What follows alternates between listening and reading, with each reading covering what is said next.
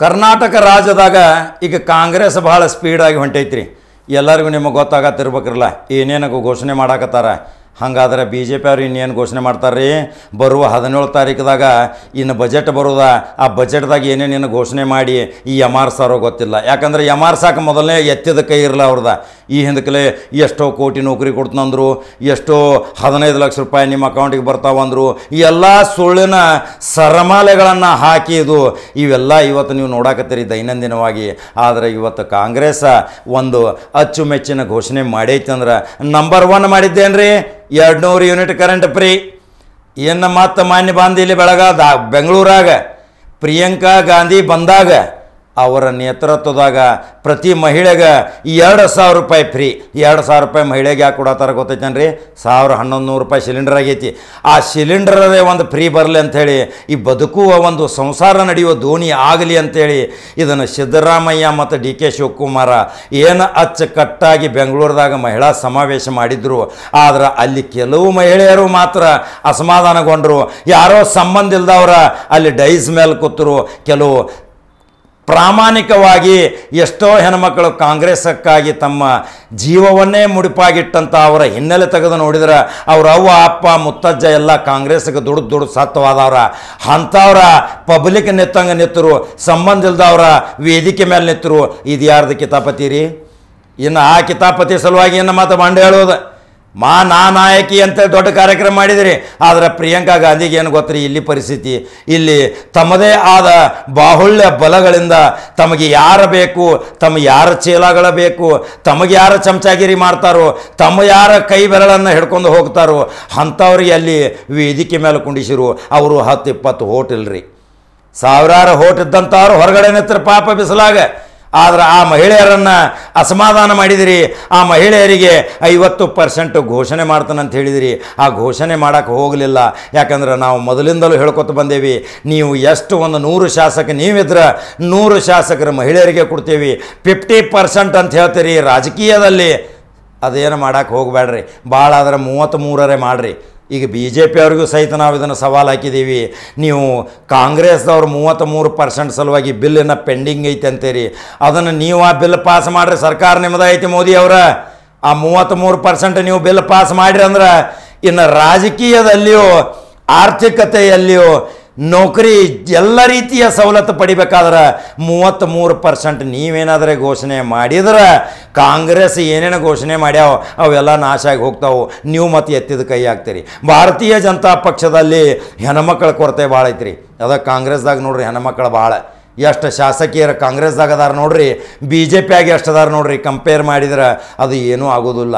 ಅದರ ಸಲುವಾಗಿ ಎರಡು ಸಾವಿರ ರೂಪಾಯಿ ಸಿದ್ದರಾಮಯ್ಯ ಮತ್ತು ಪ್ರಿಯಾಂಕಾ ಗಾಂಧಿ ಹಾಗೂ ಡಿ ಕೆ ಶಿವಕುಮಾರ್.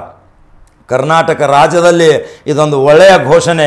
ಯಾಕೆ ನಾ ಹೇಳಾಕತ್ತನಂದ್ರೆ ಈ ಘೋಷಣೆದಿಂದ ಮಹಿಳೆಯರ ಮನಸ್ಸು ಕರಗತೈತ್ರಿ. ಮಹಿಳೆಯರು ಎದ್ದು ಕೂತ್ರಂದ್ರೆ ಲಕ್ಷಾಂತರ ಮಹಿಳೆಯರಿನ ಹೋಟ್ ಕಾಂಗ್ರೆಸ್ಗೆ ಹಾಕಿರಂದ್ರೆ ಬಿ ಜೆ ಪಿ ದಿಕ್ಕಾಪಾಲಾಗಿ ಹೊಡ್ತೈತಿ ನೋಡ್ರಿ, ಏನು ಪರಿಸ್ಥಿತಿ? ಏನು ಮುಂದೆ ಹೆಂಗೆ ಬರ್ತಾವ ಕಾಲ? ನಮಗೆ ಸಿಲಿಂಡರ್ ಪರಿಸ್ಥಿತಿ ಹೋತ್ ಕರೆಂಟ್ ಪರಿಸ್ಥಿತಿ ಹೋತ್, ಇನ್ನೂ ಮೂರು ಅಂಶ ಹೇಳಿದ್ದೇವೆ ನಿರುದ್ಯೋಗಿಗಳ ನಿವಾರಣೆ ಮಾಡ್ಬೇಕು. ಹಾಗ ಶಿಕ್ಷಣ ಮತ್ತು ಆರೋಗ್ಯಕ್ಕೆ ಮಹತ್ವ ಕೊಟ್ಟರೆ ಮಾತ್ರ ಸಂಪೂರ್ಣ ಐದು ಘೋಷಣೆಗಳನ್ನು ಕೊಟ್ಟಿದ್ರೆ ನೀವು ನಿಜವಾಗಿ ಸರ್ಕಾರ ಎರಡು ಸಾವಿರದ ಇಪ್ಪತ್ತ್ಮೂರಾಗ ರಚನೆ ಮಾಡ್ತೀರಿ. ನೀವು ಕಾಂಗ್ರೆಸ್ ಆಗಿರ್ಬೋದು ಬಿ ಜೆ ಪಿ ಆಗಿರ್ಬೋದು, ಆದರೆ ಒಂದು ಅಂಶ ನೆನಪಿನಲ್ಲಿ ಇಟ್ಕೊಡ್ರಿ ಯಾವಾಗ ಸಿದ್ದರಾಮಯ್ಯ ಯಾವುದು ಘೋಷಣೆ ಮಾಡ್ಯಾರ, ಯಾವುದು ವಚನ ಕೊಟ್ಟಾರ, ಯಾವುದೇ ವಚನ ಭ್ರಷ್ಟ ಮಾಡಿಲ್ಲ, ಸುಳ್ಳು ಹೇಳಿಲ್ಲ. ಸುಳ್ಳಿನ ಸರ್ದಾರರು ಬಿ ಜೆ ಪಿಯವರು ಮಾತ್ರ, ಕಾಂಗ್ರೆಸ್ ಮತ್ತು ಇನ್ನಿತರ ಜೆ ಡಿ ಎಸ್ ಪಕ್ಷದವರು ಅಲ್ಲ. ಕುಮಾರಸ್ವಾಮಿನೂ ನೋಡ್ರಿ ಏನು ವಚನ ಕೊಡ್ತಾರೆ ಆ ಟೈಪ್ ಮಾಡಿ ತೋರಿಸ್ತಾರೆ.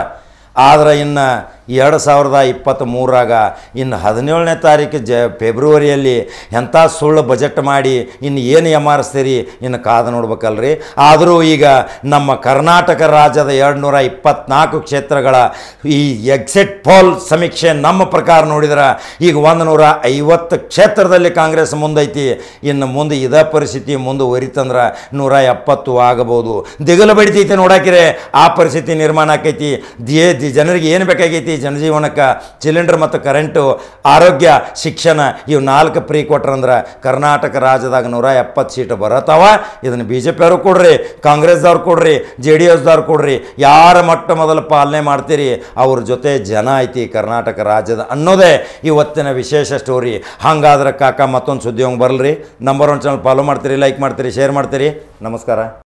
ನಾನು ಸಿದ್ದರಾಮಯ್ಯನವರು. ಪ್ರಿಯಾಂಕಾ ಗಾಂಧಿಯವರ ಸಮ್ಮುಖದಲ್ಲಿ ನಿಮಗೆ ಒಂದು ಗ್ಯಾರಂಟಿ ಚೆಕ್ ಅನ್ನ ಇವತ್ತೇ ಸೈನ್ ಮಾಡಿ ನಾವು ಕೊಡ್ತಾ ಇದ್ದೇವೆ.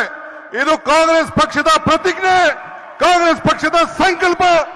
ಇವತ್ತು ಬೆಲೆ ಏರಿಕೆಯಿಂದ ತತ್ತರಿಸ್ತಿರಂತ ಹೆಣ್ಮಕ್ಳಿಗೆ ಶಕ್ತಿ ಕೊಡಬೇಕು ಅಂತೇಳಿ ಇವತ್ತು ನಮ್ಮ ನಾಯಕಿ ಪ್ರಿಯಾಂಕಾ ಗಾಂಧಿ ಅವರು ಬಂದಿದ್ದಾರೆ.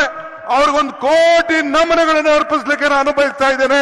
ಅವರು ವೇದಿಕೆಯನ್ನು ತೆಗೆದುಕೊಳ್ಬೇಕು ಅಂತ ನಾನು ಸ್ವಾಗತ ಮಾಡ್ತಾ ಇದ್ದೇನೆ. ಪ್ರತಿ ತಿಂಗಳು ಪ್ರತಿ ಕೇಸ್ ಬೆಲೆ ಐನೂರು ರೂಪಾಯಿ ಇದ್ದಿದ್ದು ಸಾವಿರ ರೂಪಾಯಿ ಆಗಿದೆ. ಎಣ್ಣೆ ಬೆಲೆ ತೊಂಬತ್ತಿದ್ದು ಇನ್ನೂರ ಐವತ್ತು ರೂಪಾಯಿ ಆಗಿದೆ. ಹಂಗೆ ಎಲ್ಲಾ ಬೆಲೆಗಳು ಕೂಡ ಗಗನಕ್ಕೋಗಿರೋದ್ರಿಂದ ನಿಮ್ಮನ್ನ ಬರ್ಸ್ಬೇಕು ಅಂತೇಳಿ ಎರಡು ಸಾವಿರ ರೂಪಾಯಿ ಪ್ರತಿ ತಿಂಗಳು, ಪ್ರತಿ ಹೆಣ್ಮಗಳು, ಪ್ರತಿ ಕುಟುಂಬಕ್ಕೆ ಇವತ್ತು ಪ್ರಿಯಾಂಕಾ ಗಾಂಧಿ ಅವರ ಮುಖಂಡತ್ವದಲ್ಲಿ ಘೋಷಣೆ ಆಗಿದೆ.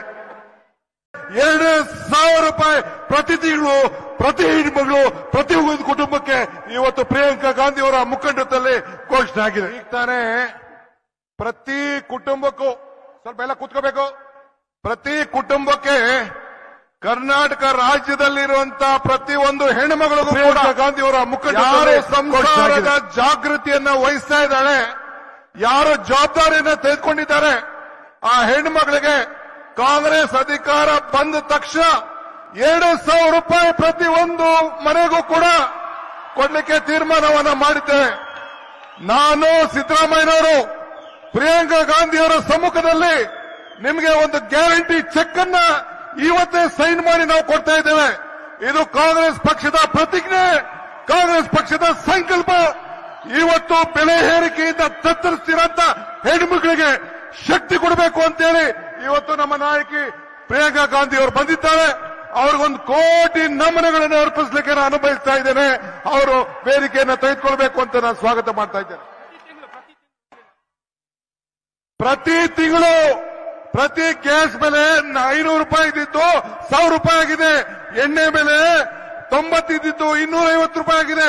ಹಂಗೆ ಎಲ್ಲಾ ಬೆಲೆಗಳು ಕೂಡ ಗಗನಕ್ಕೆ ಹೋಗಿರೋದ್ರಿಂದ ನಿಮ್ಮನ್ನ ಬರ್ಸ್ಬೇಕು ಅಂತೇಳಿ ಎರಡು ಸಾವಿರ ರೂಪಾಯಿ ಪ್ರತಿ ತಿಂಗಳು, ಪ್ರತಿ ಹೆಣ್ಮಗಳು ಪ್ರತಿ ಒಂದು ಕುಟುಂಬಕ್ಕೆ ಇವತ್ತು ಪ್ರಿಯಾಂಕಾ ಗಾಂಧಿ ಅವರ ಮುಖಂಡತ್ವದಲ್ಲಿ ಘೋಷಣೆ ಆಗಿದೆ.